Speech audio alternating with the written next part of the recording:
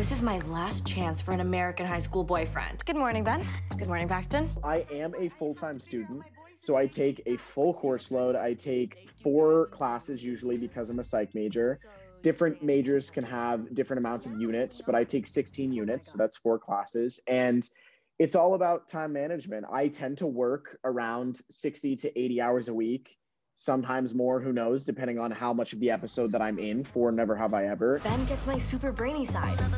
Gets my mega horny side. And the way that people behave and think, that's just something that I think is absolutely incredible and fascinating because it is so different for every person and so unique for each situation.